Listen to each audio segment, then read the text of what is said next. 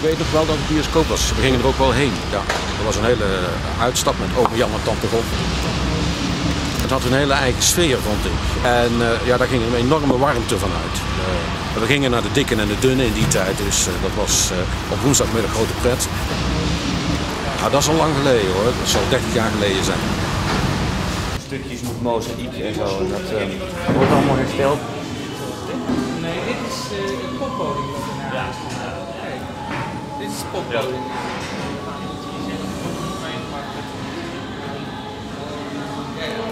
Is het hele relief ga je opnieuw maken. Ja. Het beton is harder dan het aardewerk erachter zit. Ja, ja. Dus dat je door je beton heen bent, dan schiet je in één keer door. Dan ben je Ja. dus door je beeldjes heen. Dus Ja. Zonde is dat. als